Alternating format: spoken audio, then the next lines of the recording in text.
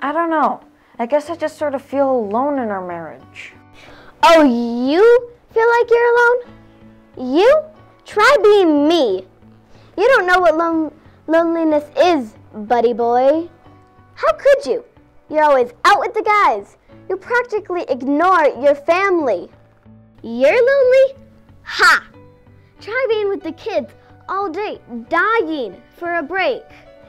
And finally, when your hope comes home, he just ignores you and takes off to run errands all night. That's loneliness. Whatever.